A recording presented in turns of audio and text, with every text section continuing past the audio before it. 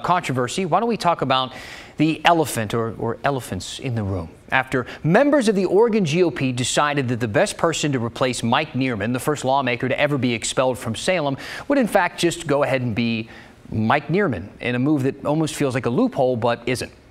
Nearman's seat got kicked out of office after every lawmaker except him voted for his expulsion. It stemmed from this video where he opened a locked door at the Capitol and let in angry right-wing protesters who then fought with Capitol Police, as well as another video that was from before this that surfaced that appeared to show Nearman planning the whole thing and calling it Operation Hall Pass. He's currently under a criminal investigation for everything, and it's typically the type of thing you would imagine someone would resign over, but not Nearman. He's riding it out. It got him expelled, and it left his seat wide open open. So on Friday night, the GOP nominated five people to be considered for that seat, for that job. And then the county commissioners near the district will appoint one of those five people.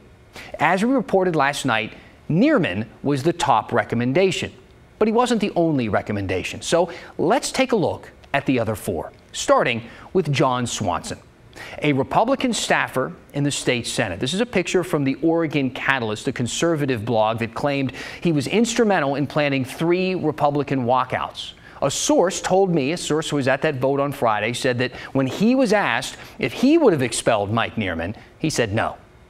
Jim Bunn, a former state senator from 1987 to 1995. He was in the political world a while ago in an elected capacity. He was then in 95 elected to Congress. And this is video of Bunn in D.C., where he did serve one term.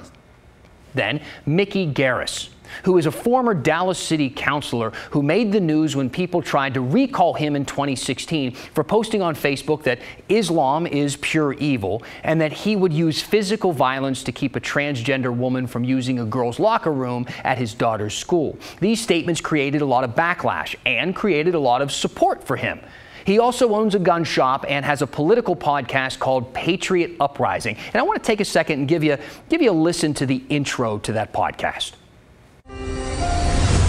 As patriots, it's our duty to rise up in a world full of darkness. Evil comes in many forms and it lurks around unexpected corners. It's time to stop wondering what will happen if it comes to war. War is already here.